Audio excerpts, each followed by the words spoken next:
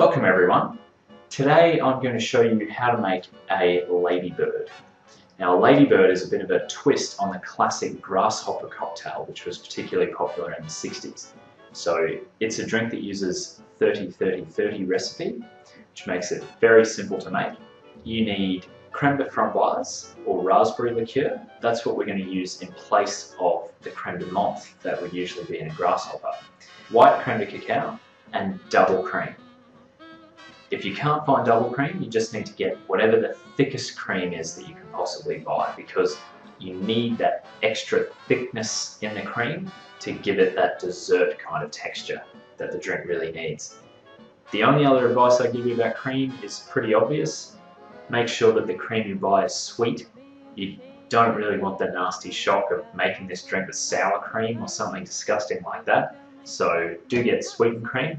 Fill your cocktail shaker two-thirds full with ice. And then it's very simple to remember. You just need 30 mils or one fluid ounce of each ingredient.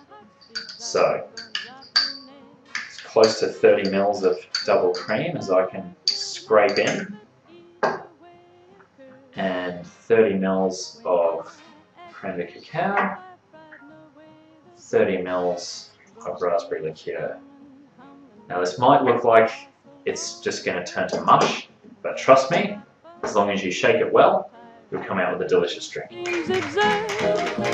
That's because I've never been a shady ladybird.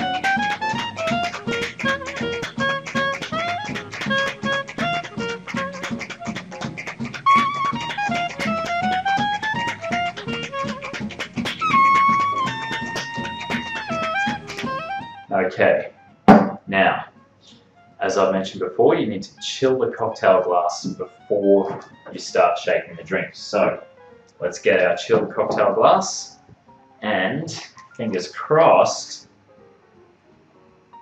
hopefully we've shaken it enough. This is quite a messy drink to make in some respects.